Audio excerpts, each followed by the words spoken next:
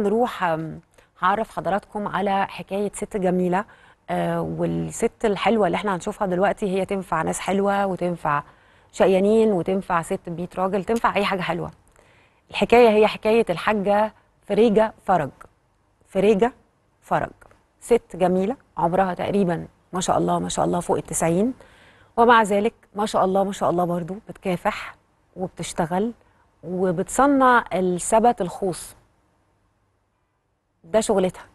وبتبيعه وعن طريق السبت الخوص بتقدر تصرف على نفسها وبتقدر إن هي تتكفل نفسها بالكامل وبترفض دايما إن هي تكون عبء على أي حد ولا حتى أولادها. تعالوا نشوف حكاية فريجة فرج من قلب صعيد مصر بالتحديد من المنيا مركز مطاي. نشوف. فريدة محمد فرج الكبير. عندك كام سنة؟ معرفش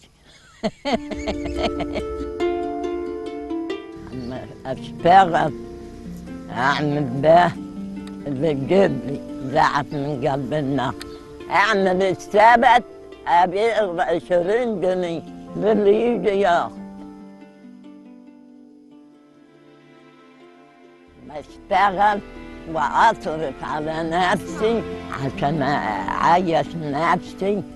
واكل واشرب ما اقولش لحد الدين ولادي معاهم عيال شوف يصرفوا إيه بياكلوا إيه؟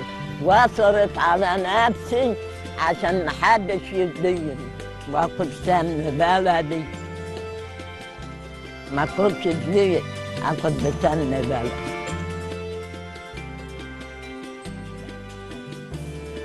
عندي واحد واخد مرتين معاه ثمان عيال وواحد معاه ستة. ده غير النسوان معاه ثلاث نسوان واحدة خمسة وستة يا سيدي الحمد لله. أفضل أشتغل لحد ما وأموت يا واخد البنت شوف البنت قبليها. النبي الأم تبقى البنت بعديها.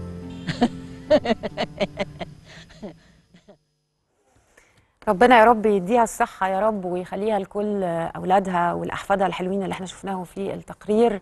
حاجة كده يعني من ريحة مصر الطيبة.